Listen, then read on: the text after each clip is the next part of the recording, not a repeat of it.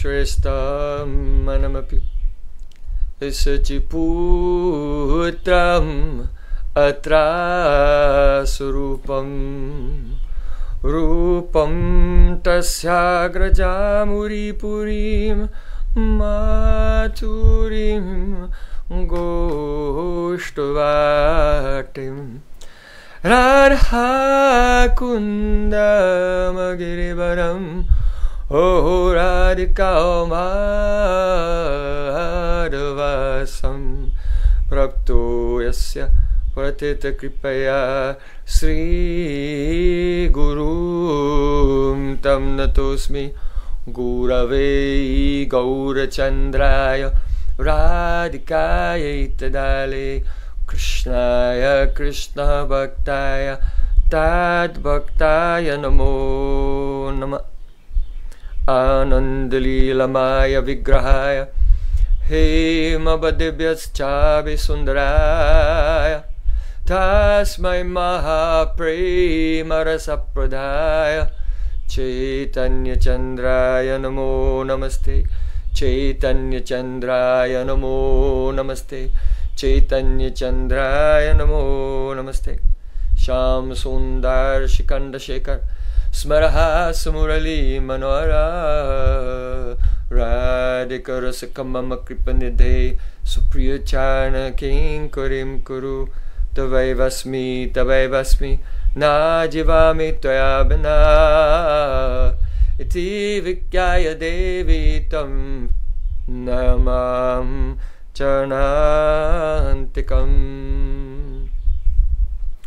First of all, I offer my Sastang Dandavat Puspanjali, my heart like flowers thousands and thousands of times at the lotus feet of my holy master, my supremely worshipable spiritual Gurudev, Asmadiya Paramaradhyatama Guru Pada Padma, Nitya Leela Pravishta Om Vishnupad, Ashtotara Sutasi Rupanugacharya Varya, Srila Bhakti Vedanta Narayan Goswami Maharaj. Secondly, I offer my pranam thousands of times at the lotus feet of my Param Gurudev, my Guru's Guru, to Srila Prabhupada and all of our great spiritual masters going back in unbroken chain thousands of years to Sri Krishna himself. And finally, I offer my pranam to all the assembled Vaishnavas and Vaishnavis, Vanchakalpatarubhyascha Kripasindhavevata Putitanam Pavanebhyo Vaishnavibhyo Namo Namah. So, you may remember that last week uh, we began to discuss the, the chapter 10 of Bhagavad Gita. In the first verse and second verse, Sri Krishna is explaining that again I will speak to you, the greatest secret, the king of all secrets, in another way, mm, which is a description of bhakti, which is. Uh, includes a description of my opulences.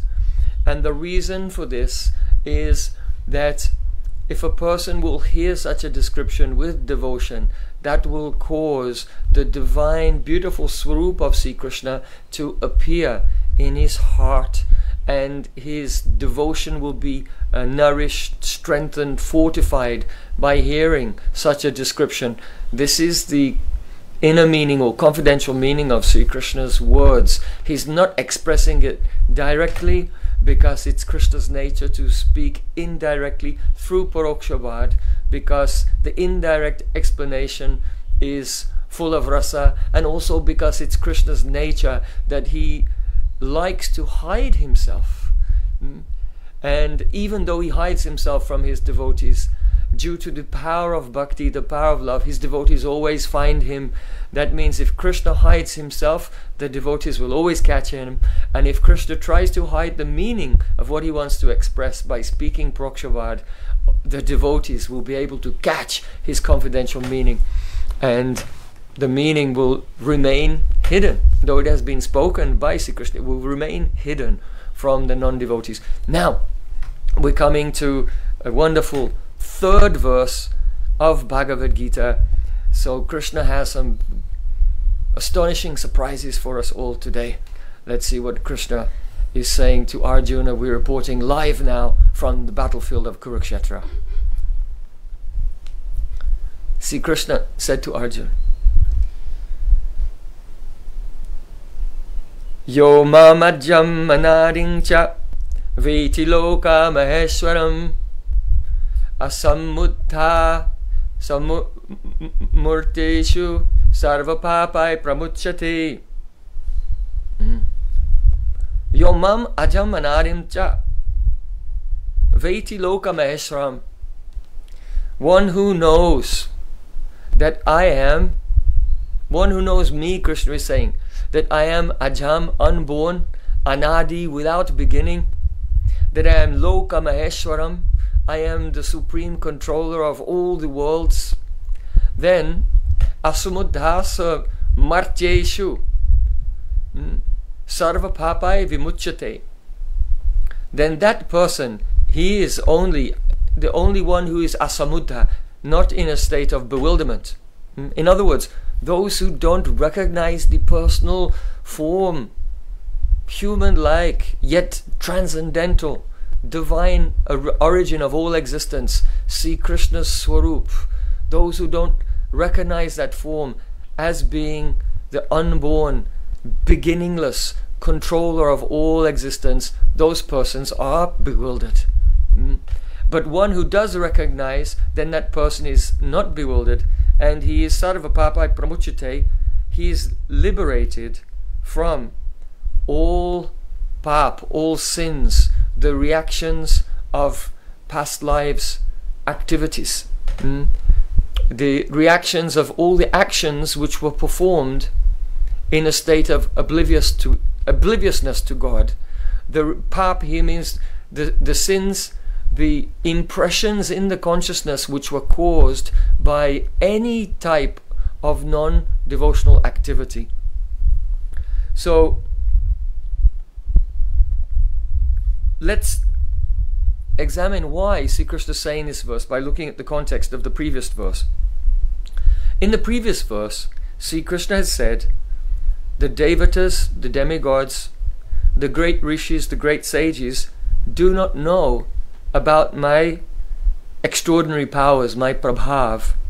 They don't understand the confidential nature of my prabhav, that is my appearance, pastime in this world.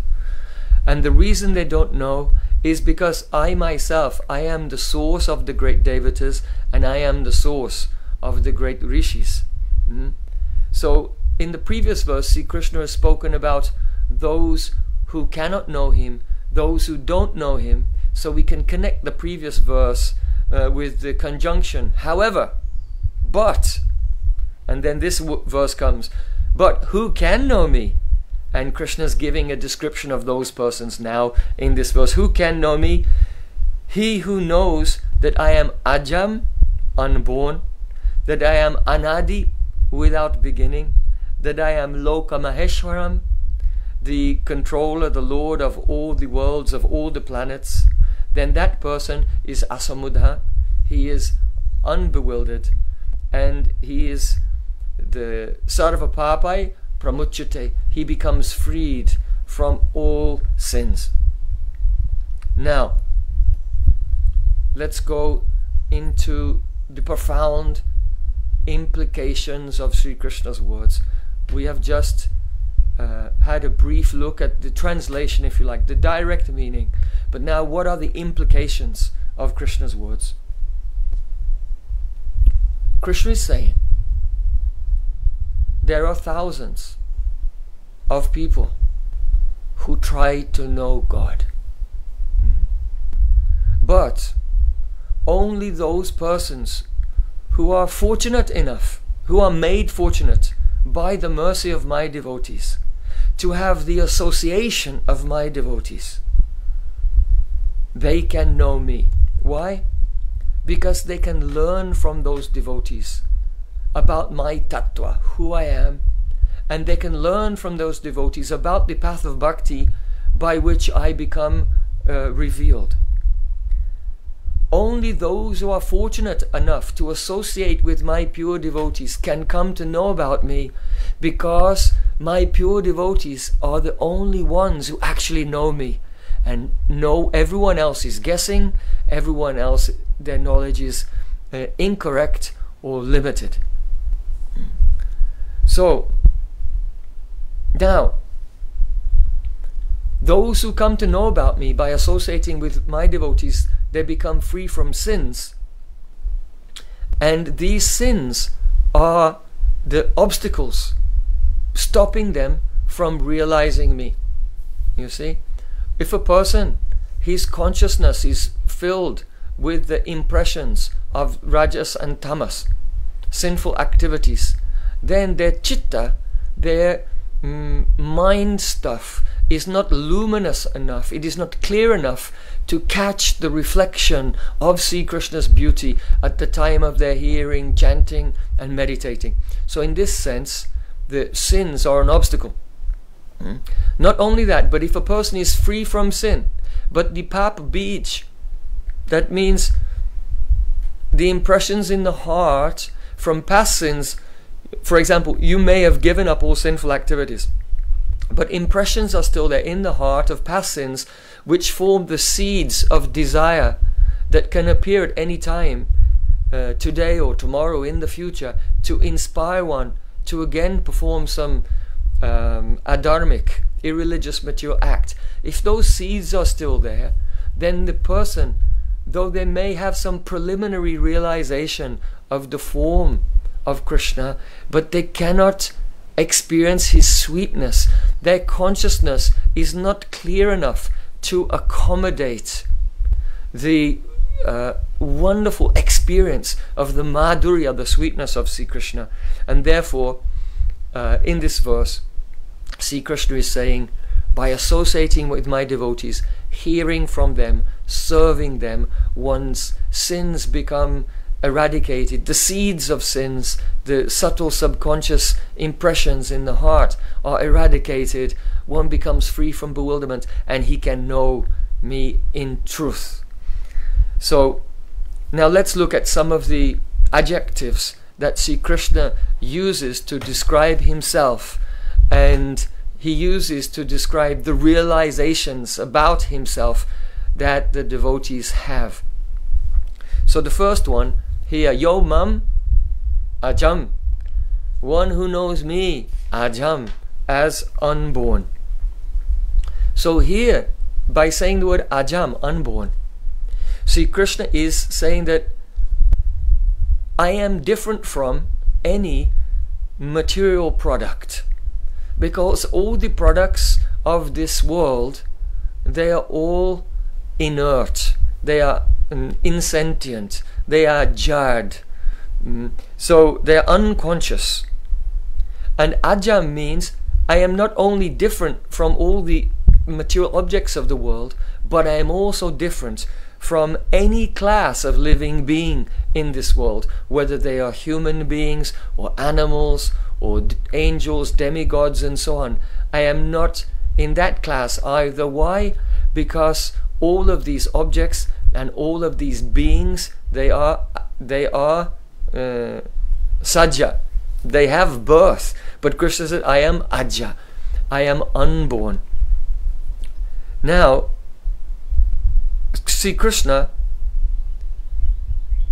is saying that all the living beings in this world they have bodies and because these bodies are material they're subject to transformation and subject to death and then again sub the, the soul takes another body and he becomes ja he becomes born so i am not among any such category of living being and now he wants to strengthen this point by saying yo mam ajam anadim i am Anadi. The word Adi means beginning or origin.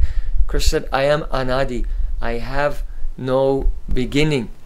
Uh, and that can be connected with Ajam, that I am unborn, to say, I, w- I am unborn from time with no beginning also. So by this, Sri Krishna is n- not only saying I'm different from every material product, I'm not only different from every being, born in this world, but I'm also different from every liberated soul. You see? Because a liberated soul uh, is also has now become Aja. They have no more birth. They're free from birth. But their freedom from birth is not anadi without a beginning. In other words, they were conditioned before, then when they became Siddha, they became perfect. When they became Mukta Purush, when they became liberated, they became Aja now without birth. But their Aja, hmm, the, their quality of being without birth is not Anadi. It had a beginning when they became liberated, then they became Aja.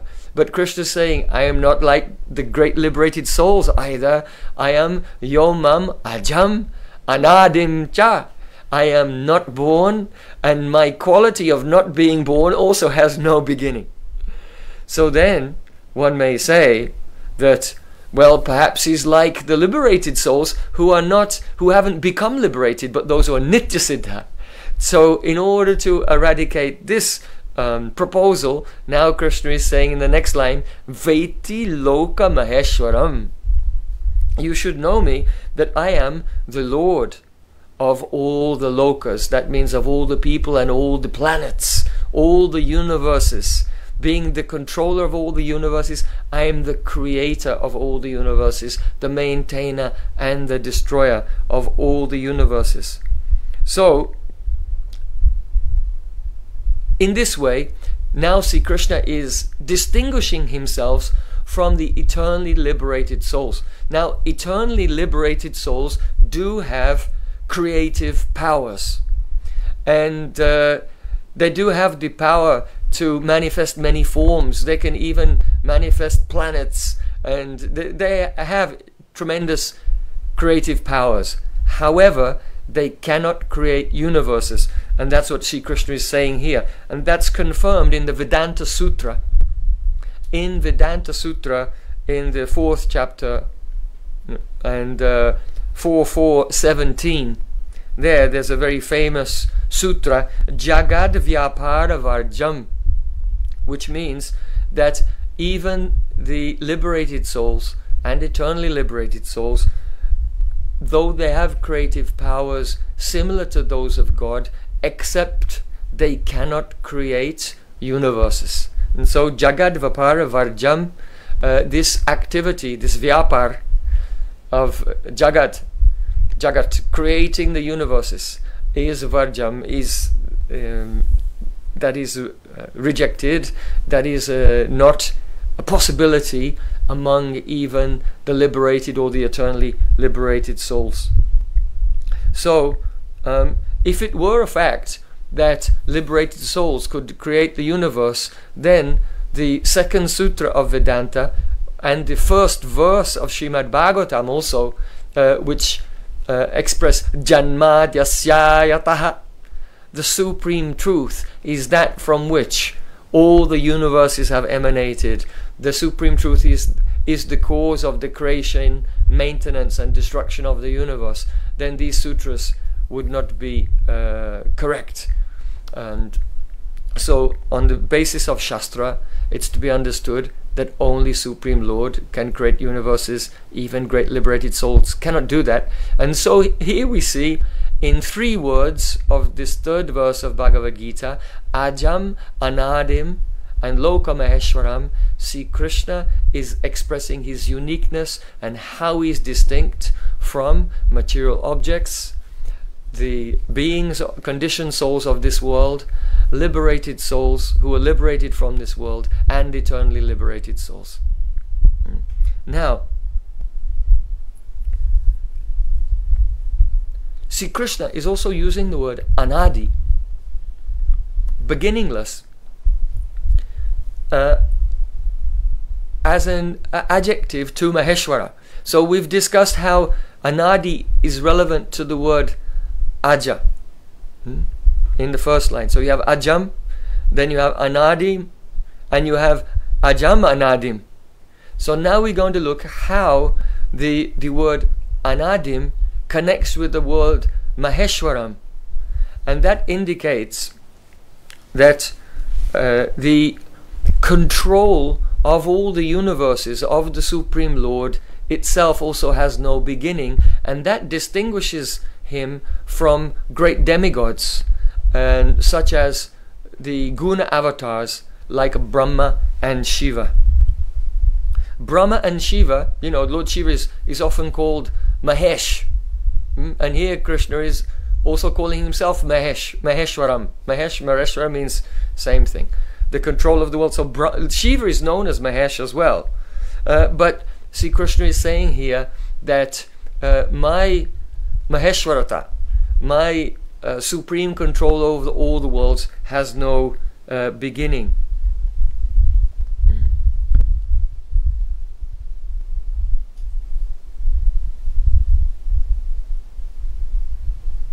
Now, what is the meaning of asamudha? Mudha means bewildered. Naive. Oblivious to something. Being in a state of dullness. Mudha. So samudha means completely bewildered, completely na- naive, and completely dull.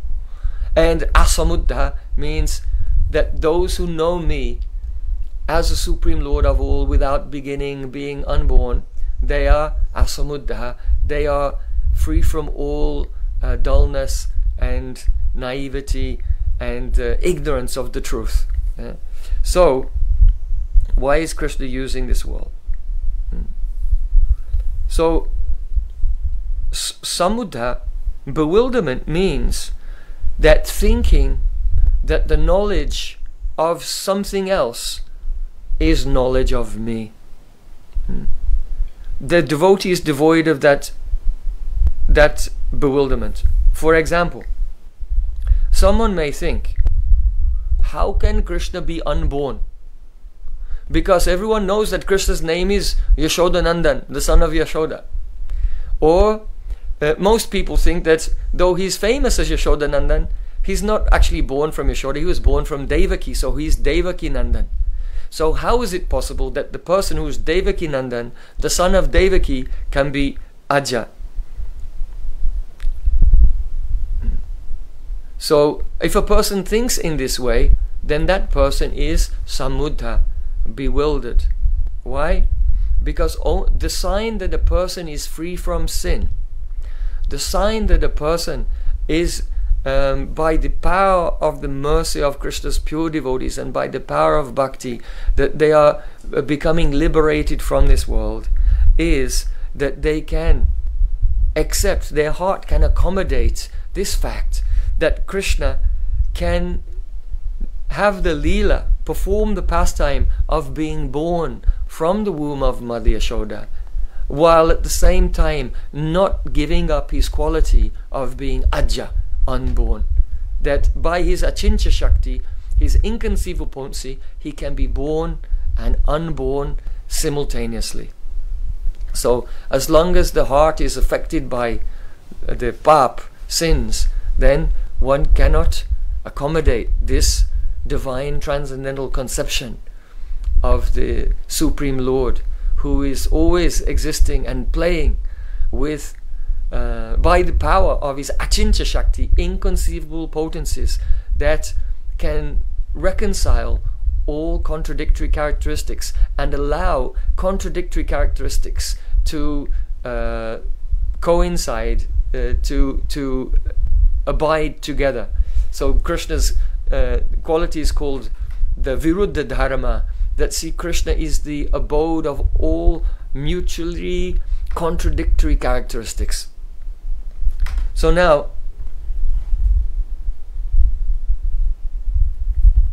Srila Vishnu Thakur has said, someone may raise the question,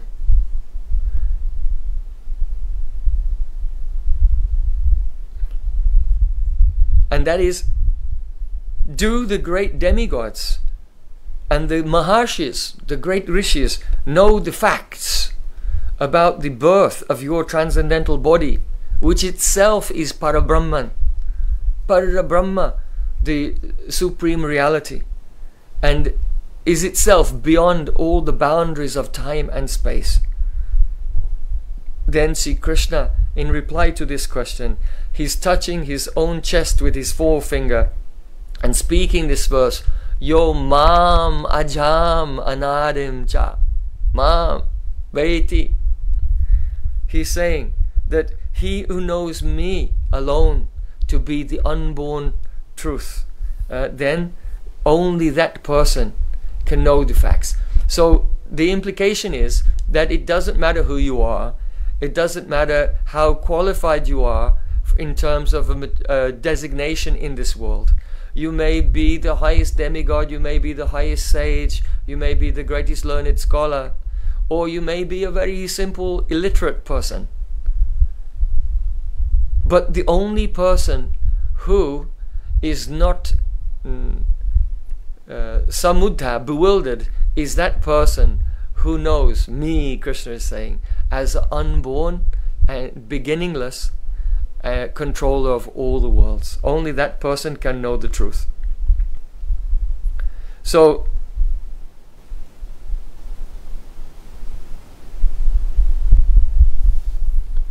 in Bhagavad Gita, chapter 4, Sri Krishna said,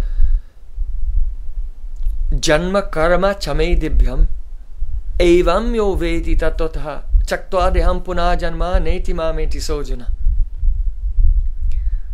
Hey Arjun, one who knows in truth that my birth and my activities are divya, divine, then that person, he will come to me.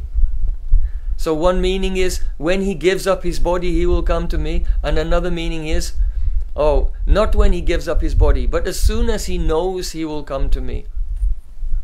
So here, to know in tattva means to realize that Sri Krishna's form, his qualities, his associates, his birth, and all his past, all these together comprise tattva. Tattva, the absolute truth. So one who realizes this comes to Krishna at once. He doesn't have to wait uh, to um, give up his his life. So, and in verse chapter 4, verse 6, Krishna said, Adyopi san avyayatma bhutanam mishropisam prakritim swama distaya sambhavami atmamayaya. Although I am aja, unborn, and my transcendental body never undergoes deterioration or transformation, hmm, and I am Lokameshwaram, I am the controller of all the world. So you see uh, some repetition here about Krishna's being Lokameshwaram, the controller of all the worlds. He said, uh, I am, I d- I don't appear in a material body, but Prakritim Swamadishtaya. I am always situated in my Yoga Maya potency. Hmm? In my own divine spiritual form, interacting with my own spiritual energies. Even when Krishna comes to this world, he does not interact with Maya, he interacts only with Yoga Maya, his own spiritual potency. When it appears that he's interacting with persons in the mode of passion and ignorance, still the passion and ignorance which is controlling them has, during the Leela, come under the control, it has become the shadow of Sri Krishna's Yoga Maya potency. So even all of their activities are being controlled by Krishna's internal energy, though they themselves are still cognitively experiencing the modes of passion and ignorance. So these are some of the the nuances or the mysteries behind Krishna's karma, if you like, his lila. Janma karma chame divyam.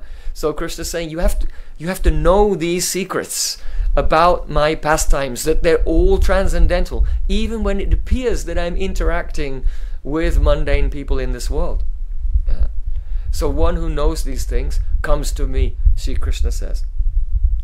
Now, in these two verses of chapter 4, Sri Krishna is in one verse saying, Ajopi Sanave I am unborn, and in another verse, Janmakama Chame Divyam, I am born. So this is the nature of Krishna that all these apparent opposites are reconciled. Now Uddhav has spoken on this subject. Because what is our subject today? Essentially, Krishna is saying in Bhagavad Gita here that it doesn't matter how qualified you are, you cannot know me. But if you have the association of my devotees and, and follow them and perform bhakti, then you come to realize me. You come to realize things that those who are not on the path of bhakti could never imagine because their minds are working in terms of binary opposites, exclusive, exclusive thoughts, uh, the, uh, the, the logic of the, the law of the excluded middle, that either you're all pervading or you're localized. But something cannot be localized and all pervading, so that that's the law of the excluded middle in logic. You cannot be, you're born or you're unborn, but you cannot be born and unborn. The middle is excluded in logic. So uh, you cannot be the uh, unchanging absolute truth and yet have a distinction between parts of your body. You cannot be beyond duality and also have a right hand, left hand, eyes, nose, ears, which are all different from each other. So things are either one or they're different. Things cannot be one and different. so always by uh, thinking in terms of the law of the excluded middle, all the conditioned souls never ever come close to understanding anything about God. And only those who come to the path of devotee, devotion by the association of my devotees come to know these things and come to uh, realize these things. And not only that, but Krishna's sweet pastimes are full of even greater contradictions. For example, we know that Krishna is the absolute truth, but in his sweet pastimes, due to the power of the love of his devotees, he'll speak something and then break his word. Hmm? Like he said, he would not take up a, a weapon on the battlefield of Kurukshetra, but because of the love of, of his love for Arjun, and secondarily because of his love of Bhishmadev, he took up a wheel. Um, he's the absolute truth. But when Mother Yasoda said, Open your mouth to let me see if you've been eating dirt, he said, Naham bhakshitavam amba. Hmm? I have not eaten dirt.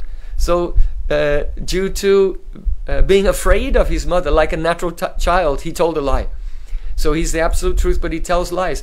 So when, though metaphysically, in God, there are many uh, mutually contradictory characteristics are reconciled. But in the sweet aspect of God, then the intensity of those coexisting contradictions becomes more and more intense, such that even great liberated devotees who are situated in Aishwarya Gyan find it very, very difficult to understand the love of the Brijbasis and Krishna's behavior in Vrindavan. Hmm? My Gurudev uh, once said, he said, Hanuman, he's always ready to protect Lord Ram. Hmm? But, and if he came to Vrindavan and he saw the way that the cowherd boys can throw him on the ground and jump on top of him and defeat him in wrestling, then Hanuman would become angry and try to run to his defense. So that's why Hanuman, he has to stay in Ayodhya and cannot stay in Vrindavan. Because even those who have realized God, even and they have devotion, when it comes to the the profound mysteries of the sweetness of Krishna of Vrindavan, where those contradictions become even more condensed, even great devotees can also become bewildered. So, um, Srila Vishwanath Chakravarti was giving an example from the third canto of Srimad Bhagavatam, and it's a very wonderful verse. He's saying, this is third canto, chapter 4, verse 16. Mm. And he's illustrating uh, with practical examples what Sri Krishna is expressing in this, the third verse of Bhagavad Gita. He's saying, Kamanyani hasya bhavo bhavasya te durgastaro tari bayat pralayanam kalatmano yat pramadai yatasramaha satmandrate kidyati dir vidam miha. He's saying, O Prabhu, even though you are desireless, you are anihas, aniha, aniyasya, of you who have no desire, but karmanyaniyasya yo. You still perform karma. In other words, those who have no desires, they become renounced from this world and they don't do any karma. Hmm? And those who have desires, they do karma in this world. But Krishna has no desires, but still when he comes into this world, we see what is he doing?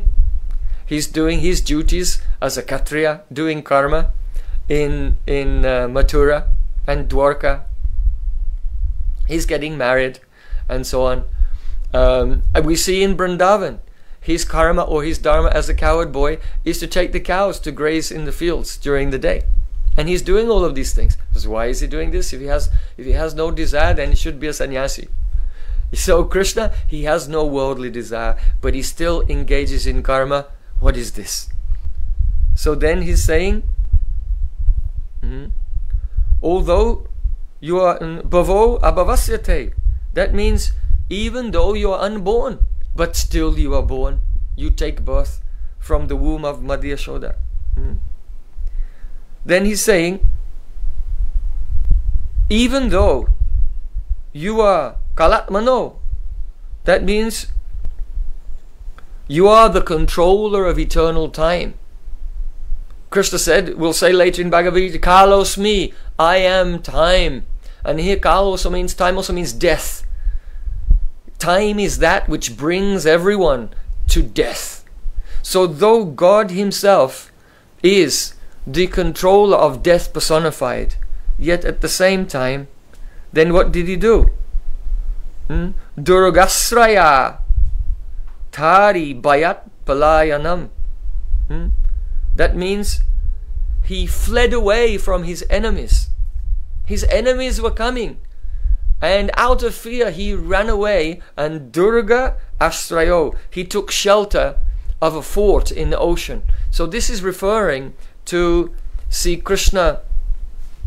He's being, uh, when he was in Mathura, Mathura was attacked by the demon Jarasandha 17 times. And then on the 18th time, not only Jarasandha, but before Jarasandha could attack, then uh, Kala Yavan, was attacking Mathura with uh, 33 million barbarian Mleccha Yavana soldiers. And uh, so what did Krishna do? He moved his the whole Yadu dynasty. They vacated the city of Mathura and Krishna re-established them in a, city fortress uh, surrounded by water on all sides, and that is uh, Dwarka. So Hmm? Then he's saying, Pramadayutashramaha swat swatmanrate kidyati. It means, Oh Krishna, not only that, but even though you are Atmaram, you are self satisfied, you don't need anything other than yourself to experience pleasure. But still, what did you do? You enjoy amorous pastimes with 16,000 queens. You married 16,000 princesses and enjoy amorous pastimes with them in Dwarka. So, therefore, seeing these wonderful activities, then it is said, Kidyati dir vidam miha, seeing your activities in this world, vidam, even the learned persons, then kidyati their, di, their intelligence becomes bewildered, becomes disturbed. What is he doing? So, this is a very beautiful verse in which uh, Uddhavji is making this point how Krishna's Leela is full of contradictions. And due to these contradictions, the common people are bewildered. No, not only the common people, but even the devotees who are in the Aishwarya they have some Aishwarya Gyan. They cannot understand. Even we we're seeing pastimes here. They're not Kevala Madhurya. They're not pastimes of exclusive sweetness of Braja, but they're pastimes of the um, Madhurya Mishrit Aishwarya, opulence mixed with sweetness. Those are the pastimes of, of Dwarka. So let's go into this a little bit more deeply. Uddhav is saying, you, O Krishna, you are the controller of time that brings death to everyone. So there is nothing more fearful than death. But Krishna himself is running away from uh, Mathura, running away from the battlefield. Krishna is famous as Ranchur, the the one who the, oh, that's a terrible insult. A, a Kshatriya, a warrior who flees from the battlefield, is called a Ranchur, and so that's a, a most a shameful appellation. What is the history behind this? So, perhaps you know that when Sri Krishna came to Mathura on the invitation of Kamsa Maharaj, Krishna uh, killed Kamsa uh, after wrestling with the wrestlers Chanura and Mustika. He killed Kamsa. And then after that, the two daughters, sorry, the two wives of Kamsa Maharaj, Asti and Prapti, they became widows and they were very, very upset. And uh, so in Srimad Bhagavatam, this history has been told how they went to their father. They, they didn't stay in Mathura, but rather they returned to uh, their father, who was Jarasandha, to complain about what had happened. And this is why Jarasandha decided to invade Mathura. And we know Jarasandha attacked many times, and Kalyavan attacked many times, and and Sri Krishna relocated the bridge, the the residents of Mathura in Dwarka. Now, we Gaudiya Vaishnavas, the followers of Srila Rupa Goswami, our interest is in Brajalila. Our sambandha, our relationship with Krishna is with Krishna of Vrindavan and with the Brajbasis. Mm-hmm. So, at the same time, Sri Chaitanya Mahaprabhu said, Srimad Bhagavatam, Pramanam Amalam. The Srimad Bhagavatam is the best evidence. And Srimad Bhagavatam, Yad Vaishnavanam Priyam, is very, very dear to the devotees. And yet we find in, in Srimad Bhagavatam, uh, there are only 39 chapters dedicated to Krishna's Vrindavan Leela in the 10th canto. Uh, but the 10th canto was 90 chapters. So we have um, the 51 chapters dedicated to Sri Krishna's Mathura and Dwarka Leela. So why is this very Srimad Bhagavatam so dear to us when it puts more emphasis on pastimes outside of Vrindavan?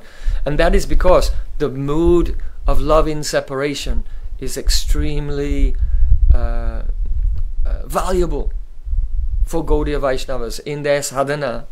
And even in the perfected stage, separation is always there, even at the time of meeting. So, as in Gaudiya Vaishnavas, Rupanuga Gaudiya Vaishnavas, we want to always hear Harikatha from the perspective of our own sambandha, our own relationship with Krishna. So, in what way do the Brajabasis consider these pastimes. So Srila Jiva Goswami Padas explained that when Krishna was in Mathura, the Brajbasis are still in Braj, they're feeling separation from him. And of course, they're always eager to find out news. So they were sending messengers back, back and forth to bring news. So one day, breathlessly, a messenger arrived in Braj and came to Nanda Maharaj Nanda Maharaj was surrounded by all the Brajbasis and everyone was eager to hear. What's the news about our Krishna? What is he doing? They're so eager to get some news about him. So then the messenger said, Oh, you do you know what happened? After Krishna had killed Kamsa Maharaj and you returned, Nanda Maharaj returned from Mathura and went back to Braja. Then the, the two daughters of Jarasandha the widows of Kamsa Maharaj, they did not stay in Mathura. The Brajbasis says, why didn't they stay there? Is it because the residents of Mathura didn't trust them? Hmm? Is that why? Then the messenger said, No, no, no, no. Let me tell you what happened. They left Mathura incognito in disguise. Hmm? They kept their hair disheveled and their braids open over their breasts. Their clothes were old and torn, and keeping a cloth like a hood over their heads. On horses, they incognito, secretly, they left the city of Mathura and they rode to the capital city of their father Jarasandha and they approached Jarasandha like two forms of Chandi. So Chandi is the uh, ferocious, angry form of Durga. And they came to their father and they uh, presented uh, a great number of complaints. Oh, our father was, our husband was just curious, so he invited this uh, Krishna from Vrindavan, who happens to be the son of Basudev and Devaki. He was hiding there. Mm, they invited him to come to Mathura, and what did he do? As soon as he arrived, he killed our washerman. Can you imagine? Hmm? For no reason, he murdered our our washerman who used to do the laundry and dye the cloth of our husband Kamsa Maharaj. And then after that, he broke the uh, bow in the sacrificial arena. Then he's cruel to animals as well. He killed the elephant Kuvalayapida. And then he murdered all the great wrestling stars of the Mathura World Wrestling Association, hmm? Chanura and Mustika. And then he killed our husband Kamsa. For no reason he was innocent. Alas, alas. And when the, the Asti and Prapti were crying and expressing their anger in this way in front of their father, then Jarasandha became furious and he decided, I will destroy Mathura, I will kill Krishna, I will destroy his whole dynasty, there will be no one left. so then, uh, when the bridge Brijbasis heard this, they're all afraid. Ah, what happened to our Krishna now? Is he safe? Is he safe? The messenger said, Listen to what happened. Hmm? Jarasandha assembled an army of 23 divisions. That means 23 Akshauhinis. Now, just to give you some comparison, the Battle of Kurukshetra was a huge battle, and there were 11 Akshauhinis on the side of Duryodhan and there were seven Akshauhinis on the side of the Pandavas. So all the warriors on both sides came to 18 Akshauhinis. Now Jarasandha is attacking Mathura with 23 Akshauhinis. So that means five more divisions of soldiers than both of the sides on the Battle of Kurukshetra combined. So it was a huge army, and they surrounded uh, Mathura. And uh, at that time, the ladies of Mathura, they became very fearful. They went up onto the roofs of their palaces to see what was happening outside the city walls. So at that time, Krishna, he just smiled. And he, when he smiled, two chariots descended from the sky, two golden chariots. And one of the chariots was equipped with weapons such as chakra, and a chariot driver named Daruka. And there was a flag. On the flag, there was Garuda. And on the other chariot, there was a, a plow and a pestle, uh, a grinding uh, pestle. And so these are the divine weapons of Krishna and Balaram. And, and Balaram's chariot had the, a flag with the mark of the the palm tree. So then Sri Krishna said to Balaram, Oh my dear brother, please alight your chariot and let's go and face these warriors. So when the messengers described how when the battle was about to begin, these two chariots with divine weapons descended from the sky and landed there. Then the bridge Brijbasis, when they heard this, they looked at each other and said, Aha! Just see, Lord Narayan's helping our Krishna. We've seen it many times. Whenever there was a problem, whenever there was a danger in Vrindavan, then Lord Narayan would always come and help and Krishna would be safe.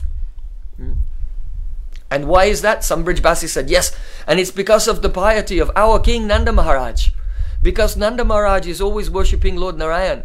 That's why Lord Narayan always helps his son Krishna. Hmm? So those who are hearing from the perspective of Aishwarya, then they'll see, oh yes, the divine eternal chariots with the weapons of Krishna and Balaram appeared there. Uh, and those who are hearing from the perspective of the bridge Brijbasis will see, oh, just look, our King Nanda Maharaj, he's so pious that Narayan always comes to help his son when he's in danger. Hmm.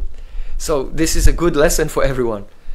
Always hear, chant and remember with Sambandha Gyan from the perspective of your own specific relationship with Sri Krishna. So then, Krishna and Balaram, they went outside of the city and there was a ferocious battle. And in that battle, Krishna and Balaram destroyed all the warriors. Everyone was killed in the army of Jarasandha. There was one survivor, that was Jarasandha himself. And Balaram caught him and tied him up and brought him before Krishna. But Krishna decided to let him go. Why? Because he knew that Jarasandha would collect more warriors and attack again. And in this way, Jarasandha was becoming an instrument for the mission of Vishnu, who was present within the form of Krishna, of removing the burden of the earth in the form of the violent and demonic kings, uh, Kshatriyas of the world. So Krishna let him go. So then, the Jarasandha he went to perform austerities to try to get some powers to defeat Krishna. But some of the other kings came to him and said, Look, you're young and you're a Kshatriya, doing austerities is not appropriate for you. Don't worry. That all your soldiers got wiped out, that was just because it was just a bad astrological time for you. Hmm? Just like now, you know, retrograde Mercury is coming. We had an eclipse yesterday, there's another eclipse. Um, in in two weeks' time, and then there'll be another eclipse after that as well. And uh, so it's a it, it's an inauspicious uh, astrological time in the world now. So try to be really humble. Don't get into any quarrels with anyone.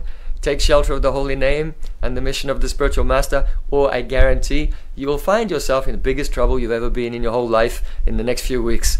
And you can see that the world is descending into complete chaos at the moment, too.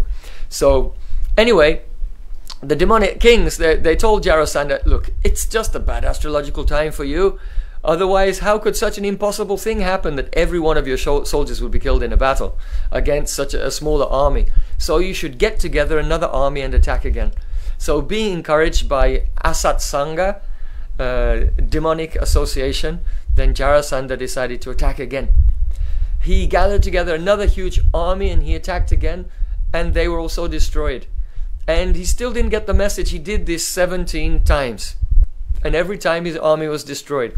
On the 18th time, uh, when he was coming, he was coming with another army. But before he could arrive there, what happened?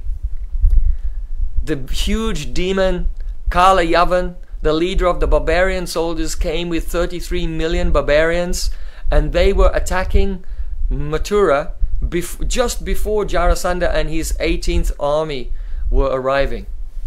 Now, in this particular verse, Uddhav is saying that Durgasrayo Bayat Palayanam, that even though Krishna is um, the controller of death personified, of fear personified, yet he fled out of fear and established a, a city in the ocean, Dwarka. There's a story behind this.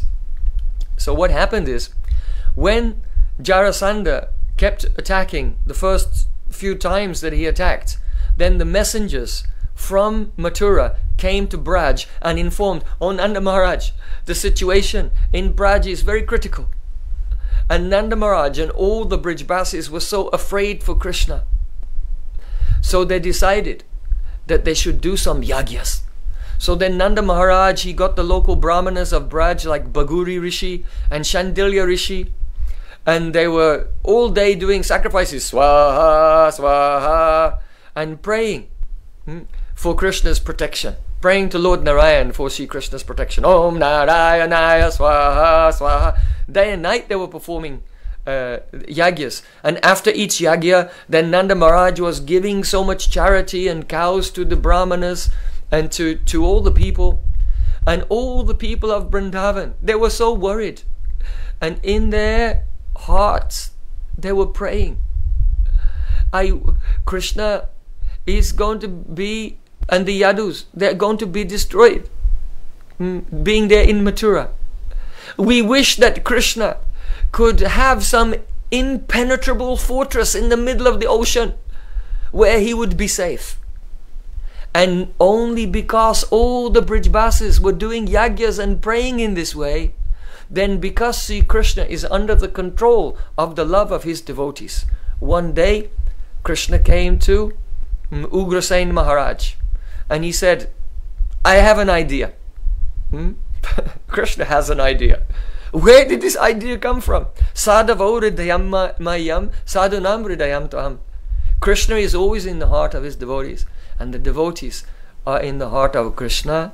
Sadhuvigrasta Krishna said, My devotees have controlled my heart. So Krishna had an inspiration to relocate all the people of Mathura in uh, a fortress in the ocean. Why? Because of the prayers and the desires and the yagyas performed by Nanda Maharaj and the Brijbasis. Mm. So you should know that the, all of Krishna's pastimes, however gruesome or militaristic or whatever they may seem, like this is a very mm, violent militaristic pastime, but at the foundation of all is nothing but Braja Prem, the love of the residents of Vrindavan. So, see, Krishna went to Ugrasen Maharaj and he proposed uh, we should relocate everyone in uh, very far away. Maharaj said, We are Kshatriyas, we cannot, we should not flee. Hmm? We should stand and fight. But see, Krishna, he called Vishwakarma. And Vishwakarma came there. And Krishna said, Show him the plans. So then Vishwakarma showed the plan of the city of Dwarka to uh, Maharaj. And he said, This is a tremendous, incredible place. Mm-hmm. And how long will, they're, they're about to attack right now. How long will it take to construct this? Vishwakarma said, You don't worry about anything. I've already constructed it. it's just hiding under the ocean. It will, it will come up out of the ocean. Just give us the, just give us the command. So, in this way, uh, Dwarka was uh, manifest. And when the residents of uh, Mathura fell asleep that night, then the next morning they woke up in their beds in beautiful palaces uh, in the fortified metropolis of Dwarka, surrounded by water on all sides, and they were completely safe. So they wonder how did that happen? How did it happen? That's impossible. So how did it happen? By Yoga Maya. So my Gurudev used to say, just as the residents of Mathura one night they went to sleep and then they woke up and they found themselves in Dwarka, so in the same way, the, if you follow this path of devotion, you will not know what is death. It will be as if you just fell asleep and then you woke up and you're in Goloka Vrindavan. Hmm? Yoga Maya will manage all of these things. Don't worry about anything. So, then Kaliyavan, he came to attack the city, and Krishna came out of the city, but without a chariot, without any weapons no weapons at all. And Kalayavan saw him, and those who are proud of their heroism don't want to win unfairly. So Kalayavan put down all of his weapons and left his chariot and came running at Krishna to fight with him with his bare hands. And as he was approaching Krishna, Krishna said to him, He said, Look, hmm, if you can touch me, then you win. And if you can't touch me, then I win. So Krishna being a cowherd boy, just turned this world war into a game of tag. Mm-hmm. So then.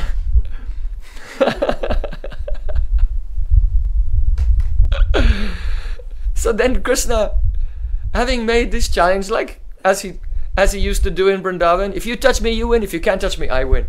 So then Kalayavan was running after him, and Krishna was uh, casually strolling away from the battlefield. And this Kshatriyas can't do this. That means you're a rancho you're a coward. Um, it, it's this terrible ill fame. So, but Kaliyavan was running as fast as he could, and he was he felt as if he were just about to touch Krishna, uh, but he couldn't quite touch him. And Krishna led him very far away into a mountain, and Krishna disappeared into a mountain cave. And as you know, King Muchukunda was sleeping there, and Krishna took his pitambara, his yellow cloth, and put it over the sleeping king, so that when Kalayavan came in, he thought, oh, what now? What's he doing? Now he's taking rest here. And he came up and kicked, thinking he was kicking Krishna. Then Kalayavan woke up from his, Muchukunda, sorry, woke up from his rest. And uh, then with the, it, the power of his yoga siddhi that was given by the demigods, fire came from his eyes and he killed uh. So, uh, in this way, uh, see Krishna, though he has no fear of anyone, but he has shown fear and run away from the battlefield. And he has moved all the residents of Mathura to Dwarka. And so it's very difficult to understand why he did this. Why did he do this? So that's what we have been revealing today. Why did he do it?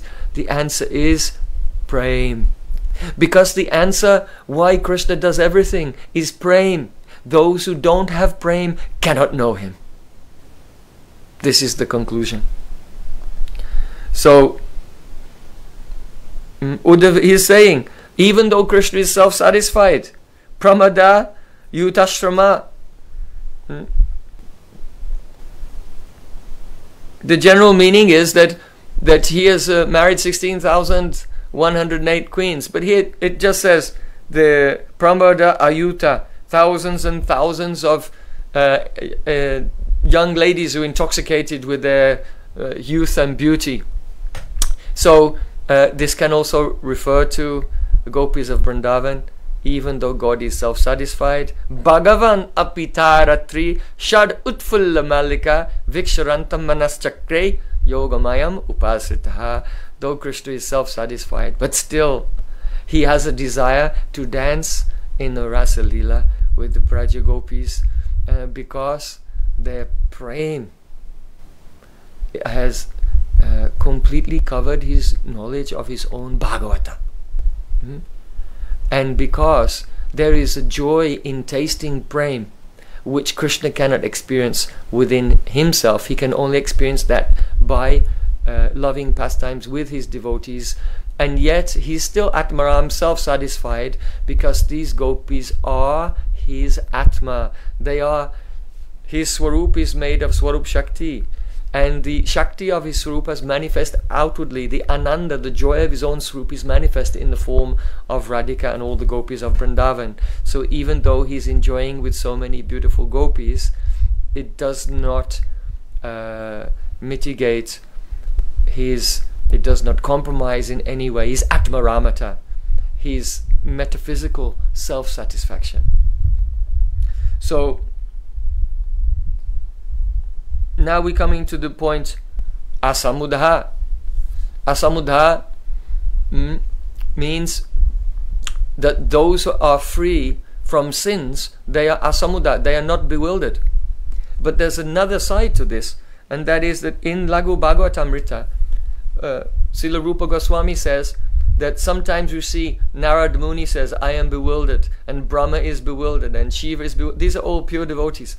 Their bewilderment we mentioned this last week, their bewilderment is not caused by the mode of ignorance and passion, but they are bewildered by Krishna's yoga maya.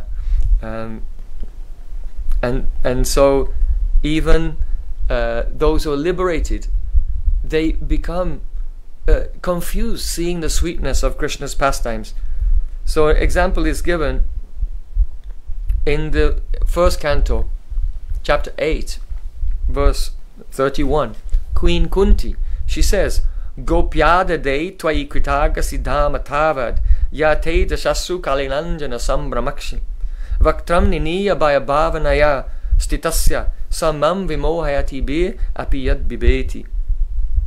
The meaning is, Oh my dear Krishna.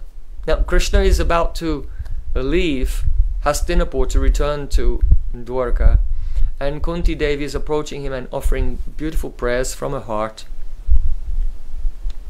And she's saying, Oh my dear Krishna, Mother Yashoda took a rope to bind you because you had made the offense of breaking the yogurt pot.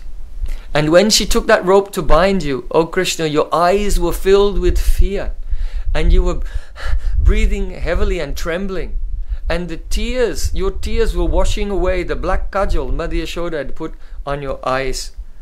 And when I see how you're afraid of your mother, this sight bewilders me. It's bewildering for me.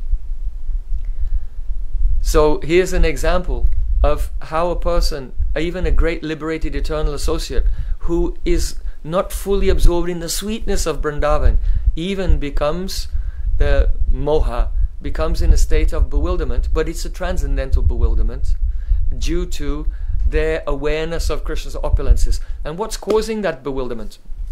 So we cannot say that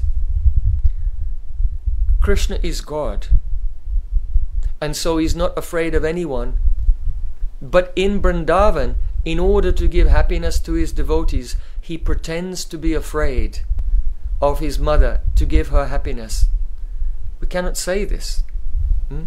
And this is exactly what Kunti Devi is saying here that when in my heart I see your eyes, Krishna, as a baby, your eyes are actually filled with fear. And that fear is real. Hmm? If she were thinking, yes, I know that Krishna's God, but in Vrindavan he acts like a baby and pretends to be afraid, then there wouldn't be anything that's confusing. But the fact that the fear in Krishna's eyes is real, he's actually afraid. For those who are in Aishwarya Gyan, they have knowledge of Krishna, that is something that they cannot reconcile. So this is an example of the bewilderment even of uh, the pure devotees outside of Braja. So, how can we reconcile this? We should know that avidya or ignorance is the function of maya, the external energy. Avidya vritti, we were discussing this last week. The ignorance potency of maya has two aspects, avaranatmaka and vikshepatmaka or prakshepatmaka. Hmm? Srila Prabhupada used to say always prakshepatmika, Jiva Goswami's used the word vikshepatmika, but it still has the same meaning, it means that which causes distraction. So one aspect of Maya covers our awareness of ourselves as spiritual beings, and the other aspect of Maya makes us become distracted by the activities of the material world and we become absorbed in that and as a consequence become subject to all kinds of fear and anxiety and stress and etc right so if you're in fear anxiety and stress just remember you're in maya so now Maya is causing all types of distress by binding up the, li the, the living entities by, with, with uh, ignorance in this way. So now, in the same way, it is the spiritual potency, not the external Maya, but the internal potency, Yoga Maya, especially Krishna's Leela Shakti. The Yogama is Krishna's Leela Shakti, his pastime potency. And it is that Yogamaya that covers the consciousness of Madhya Yashoda that even when Krishna manifests tremendous opulences, then she mm, does not uh, consider it at all. And similarly, the essence of the Chit Shakti, the spiritual potency, which is called Prem, that prem of Madhya Yashoda covers Krishna's knowledge of himself. So it is the power of the love of Madhya Yashoda that uh, causes her to not inquire into the manifestation of Krishna's opulence. That's the power of her prem. And the power of her prem also causes Krishna to lose any awareness of his own Bhagavata, of his own godhood. So when he sees Madhya Yashoda coming with that rope in her hand, Krishna is really afraid. Now one might say that if God can be covered by a type of Maya, then this is a defect in God.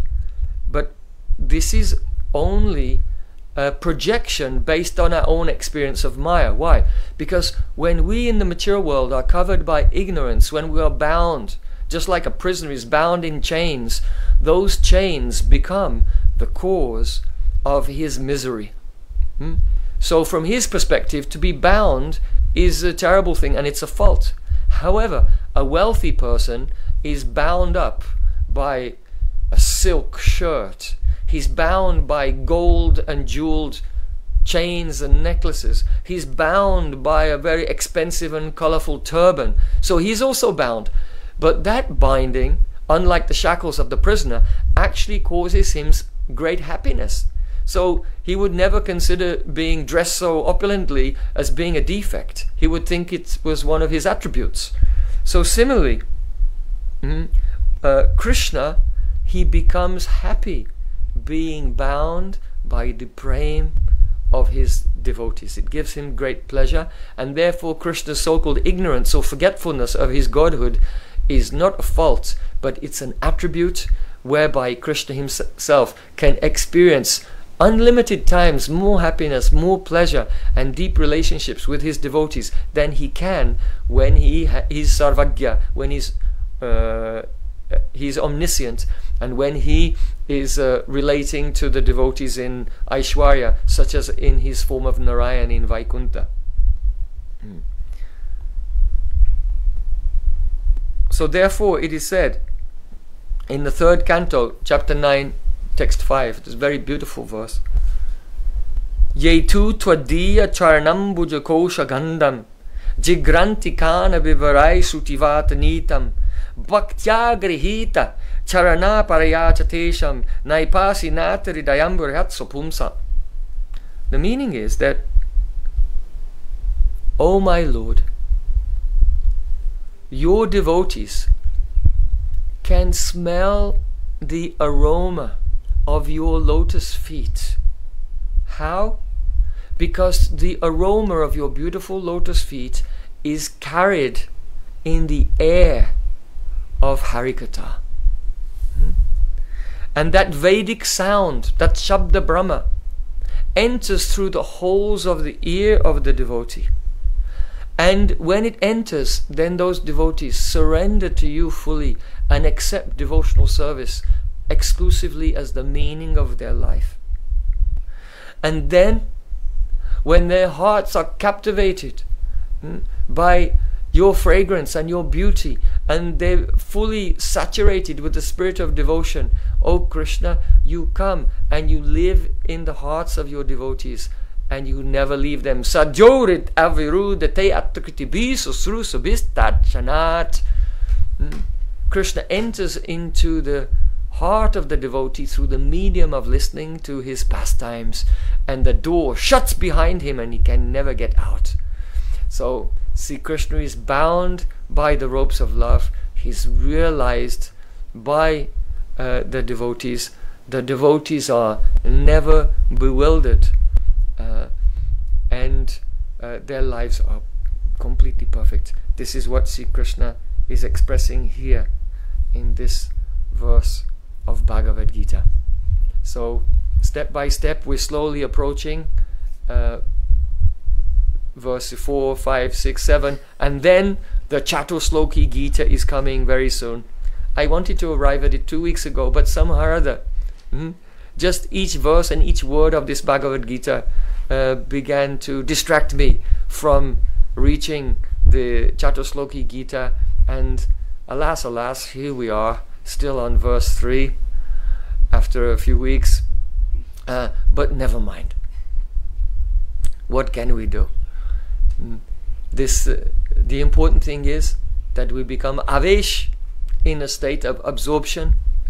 That avesh should be based on our sambandha our own particular relationship with Sri Krishna and nourished again and again. So our eternal relationship and eternal services become clearer and clearer through following this path of bhakti बोलिए वृंदावन बिहारी लाल की जय, वरसने वाली की जय जय जय श्री राधे।